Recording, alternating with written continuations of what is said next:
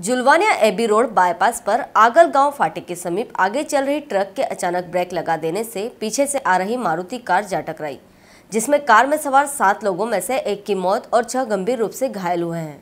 छोटी बी पति बालू निवासी टैगोर बड़ी सेंधवा की मौत हुई है। मिली जानकारी के अनुसार सेंधवा के परिवार इंदौर से इलाज कराकर वापस लौट रहे थे। इस दौरान यह हादसा जुलवानिया पुलिस थाने के समीप अगल गाँव फाटे पर यह हादसा हुआ। घायलों को प्राथमिक स्वास्थ्य केंद्र के लिए जुलवानिया लाया गया। जुलवानिया से रवि महाजन की रिपोर्ट। हेलो फ्रेंड्स आप देख रहे हैं हमारा channel S W twenty four news हमारे सारे वीडियो सबसे पहले देखने के लिए आप हमारे चैनल को सब्सक्राइब करें और पास में लगे बेल आइकोन को दबाना बिल्कुल भी ना भूलें।